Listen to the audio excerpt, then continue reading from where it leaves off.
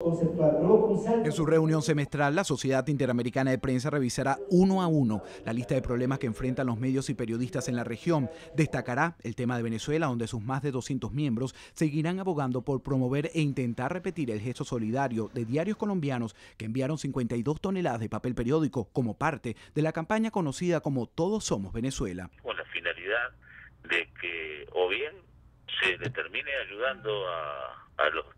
a los diarios venezolanos a no cerrar, o bien, si no lo deja pasar, que se le caiga la careta definitivamente en cuanto a que su propósito únicamente es censurar todo lo que no le guste. La situación en Argentina también tendrá prominencia en este encuentro a realizarse en Barbados, donde la CIP condenará el uso discrecional y ahora ilegal, según la Suprema Corte de ese país, que hace la presidenta Cristina Fernández de los fondos de publicidad al negárselos a medios adversos a su gobierno. Si el gobierno,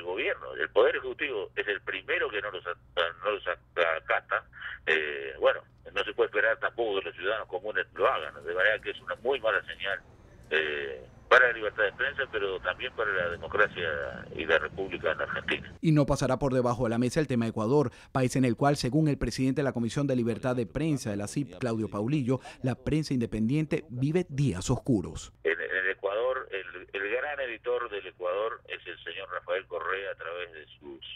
de sus funcionarios y eso, por supuesto, es una situación, una de las situaciones más graves que enfrenta, que enfrenta la libertad de prensa en América Latina. Además del tema de Venezuela, el sábado habrá una mesa redonda que versará sobre la problemática de la prensa americana, donde se tocarán temas como el secretismo, el espionaje telefónico y además las limitaciones que hay en la cobertura de actos de la presidencia estadounidense. Desde Miami, Alejandro Marcano,